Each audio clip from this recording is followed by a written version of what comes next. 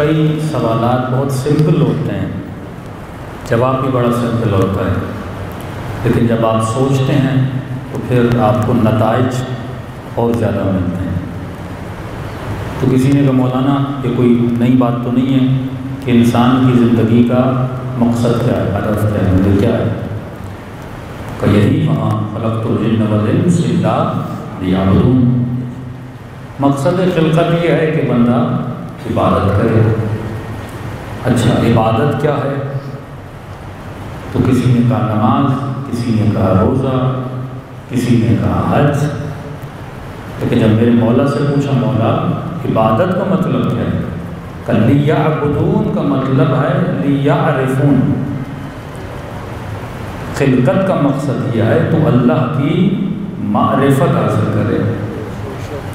क्योंकि जब मकसद एक चीज़ बना इबादत, और आपके जहन में इबादत का मतलब यह है कि नमाज़, रोज़ा, हज, जक़ात तो नमाज़ दिन में कितनी बार पढ़ोगे? सेवनटीन रकल हज साल में एक बार। रमज़ान बारह महीने में एक महीना।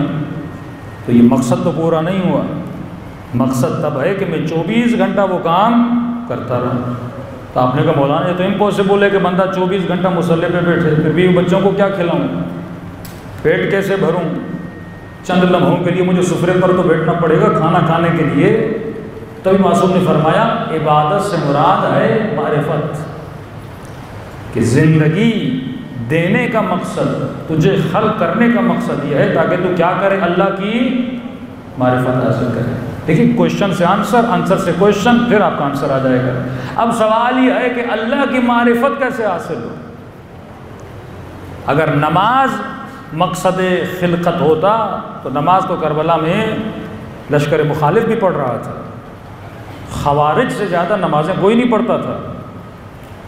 तो मकसद है मारिफत। खिलकत का मकसद मारिफत, कुरान की आयत की रोशनी में। अब अगला क्वेश्चन ये बनता है, फिर मारिफत का मतलब क्या है?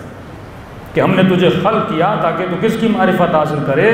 अल्लाह की मारिफत हासिल करे फिर मासूम ने फरमाया, मन आरफ नफसा फ़कत आरफ रब्बा। जिसने अपने नफ्स की मारिफत को हासिल किया, उसने खुदा की मारिफत को हासिल किया। यानी सारा घूम फिर के तू फिर अपने पास आ गया।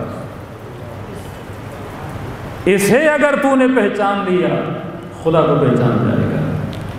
अपने वजूद को अगर तू समझ गया, खुदा को समझ जाएगा अल्लाह न मक्के में है, न मदीने में है। नहन अकरबिन हबलवरी वो तेरे वजूद के अंदर है। अगर तू उसे महसूस करे तो अब मुझे किसकी मारिफत हासिल करनी है?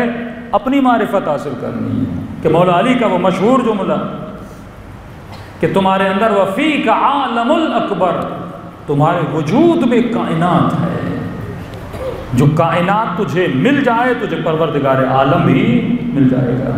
तो खिलकत का मकसद इबादत। इबादत का मतलब मारफत। मारफत कैसे मिलेगी? जब तक खुद को नहीं पहचानोगे, तब तक अल्लाह की मारफत नहीं मिलेगी।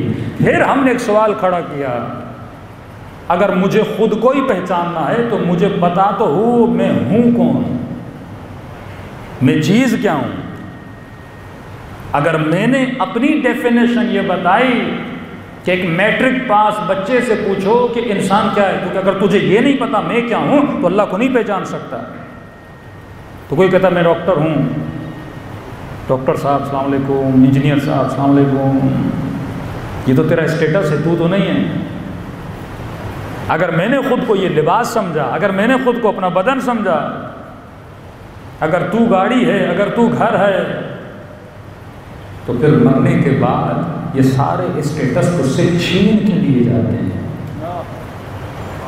फिर कब्र में मुर्दे को हिला हिला के ये भी नहीं बोला जाता, डॉक्टर साहब सुन लीजिए, वहाँ स्टेटस था तुम।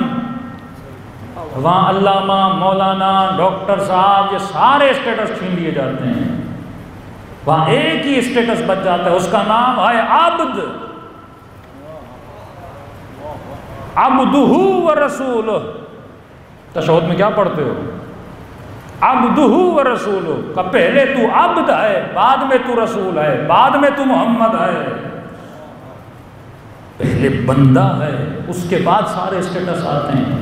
तेरा सबसे अजीम तरीन स्टेटस जिस पे तू फख्र कर सकता है, वो अब्दियत है। अगर तू अब्द है तो तूने खिलकत के मकसद को क्या किया? पूरा किया। तो अगर इस जबान को ये पता ही नहीं कि इंसान की डेफिनेशन क्या है, इंसान होता कौन है?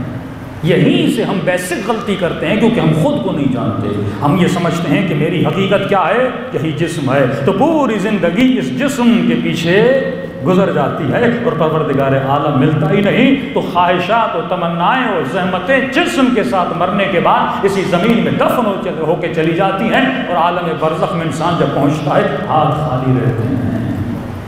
इसके हाथ भरे हुए नहीं होते। तो बेसिक चीज़ जो इंसान को समझ समझनी वो यही है कि मैं क्या हूँ। हम आपसे गुजारिश करते हैं कि इस चैनल को आप ज़रूर सब्सक्राइब करें और अपने फ्रेंड्स के साथ इन वीडियोस को ज़रूर शेयर करें, ताकि अहले बैत का पैगाम ज़्यादा से ज़्यादा जवानों तक पहुँच सके।